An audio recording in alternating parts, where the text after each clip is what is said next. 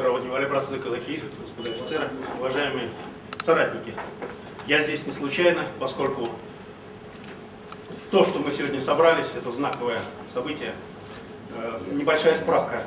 Русский народ никогда не опускал руки, и мы эту борьбу вели, несмотря на то, что нас всячески разъединяли, нам внушали совершенно иные мысли.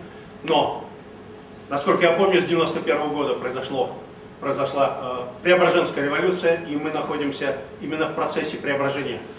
Спасибо Господи за все. С 93 года создалось монархическое движение, в котором я принял участие.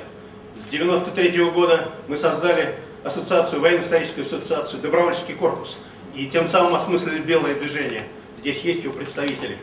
С 98 года офицеры, казаки, и в том числе э, журнал «Станица» Кукунько Георгий Валентинович, вместе со мной создали Николаевский имперский комитет в России, который начал заниматься именно проблемой объединения юридического, так сказать, возрождения нашего православного русского монархического самодержавного государства.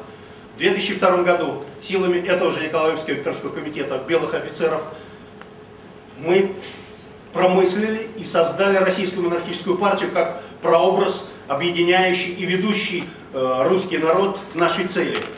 Мы опубликовали нашу программу, она уже повторена не однажды. Это четкое создание политического ядра, это организация и поддержка тех государственных и э, представителей народа в Госдуме, это обязательный референдум, это выход на общественные структуры, которым мы предлагаем осмыслить нашу историю и предложить новый путь, то есть путь э, изменения конституционной на конституционную монархию, выбрали, выборы канцлера Рента, властителя престола, и тем самым передавая ему э, форму э, общественного такого, такой поддержки, подвести русский народ к нашему Земскому собору, который и, как и должно было, и в 16 году, в 1916 решал эти вопросы, будет решать вопрос о сегодняшней власти. То, что происходит сегодня, мы прекрасно понимаем, это не власть. В прошлом году, 12 э, июня, э, в Санкт-Петербурге мы провели общероссийскую монархическую ассамблею, которая создала некую историческую преемственность между последним русским земским собором на Дальнем Востоке в 1922 году до тех э, монархических организаций, которые существуют. Это русское имперское движение.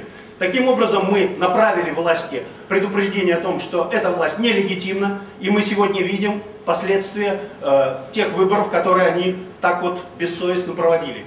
Мне кажется, что имело бы смысл э, великолепной, серьезной силе партии «Великая Россия» предложить выступить именно с этих позиций, предложить обществу не поддерживать эти выборы, э, создать Конституционное собрание, во-первых, э, довести обязательно создание закона о Конституционном собрании до его принятия некой общественной силой, поскольку сегодняшняя Госдума нелегитимна, но пусть она поддержит это. И то, что обещал э, депутат Бабурин на учредительной конференции в Доме кино, нужно довести до конца. В крайнем случае Конституционное собрание может обратиться к народу и восстановить право э, разогнанного э, в 18 году учредительного собрания. Именно учредительное собрание и собрание представителей разных э, социальных структур общества, в том числе казачества, должно этот вопрос решить. И маленькая последняя справка. Я атаман Московского казахского стана, собранный э, 4 года назад. Э, что такое московский стан? Это объединение различных казачьих общин, живущих на территории. Это православные территориальные общины. Это та сила, о которой вы говорили и сегодня предлагаете. Мы готовим в Москве такое соборное казачье собрание всех казаков, живущих в Москве.